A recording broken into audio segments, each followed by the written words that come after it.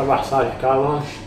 مواطن من العراق جئت بعد آه، مراجعتي لمستشفى ابن بيطار في العراق. تبين بأن هناك آه، آلام في الصدر. بعد إبلاغي من قبل دكاترة العراق بأن هناك خطورة على حياتي في آه، انسلاخ خطورة انسلاخ الشريان الأبهر. في لحظة آه، ينفجر.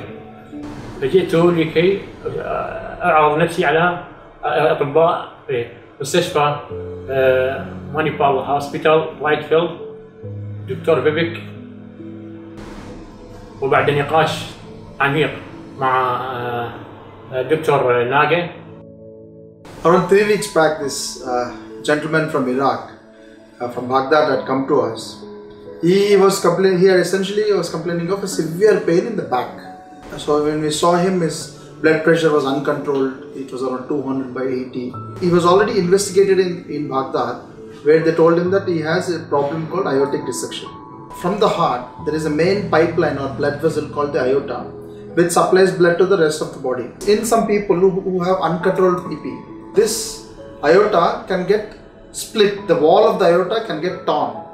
So, because of the constantly high blood pressure, the wall gets torn. In place of one pipeline, now you have two pipelines. And the second one is very weak.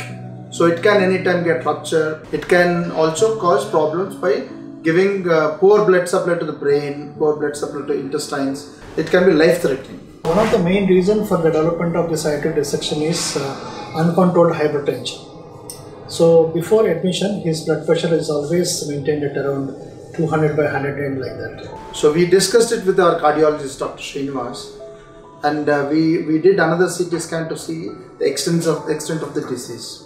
And when we realized that his, his disease is life threatening, we decided to uh, take it up for early surgery.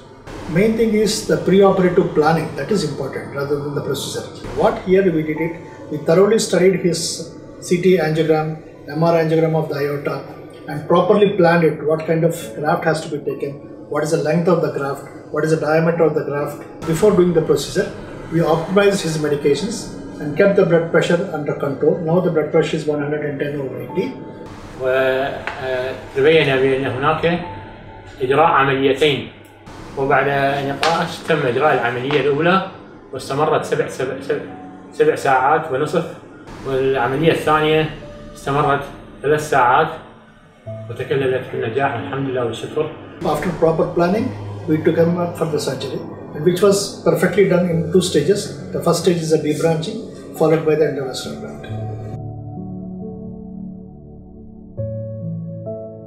ال- الآلام راحت وال- وال- وال- والضيق بالتنفس راح وال- والحمد لله والشكر على كل شيء وأنا أشكر الدكتور ناقة وأشكر الدكتور بيبك He, he responded very well. Now there is uh, no pain for him.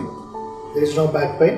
He is able to walk. He is able to do all his activities. And uh, this multidisciplinary approach is highly required for tackling this kind of uh, complex cases, which is not possible in kind of other centers where routinely they do some kind of bypass operations and other things.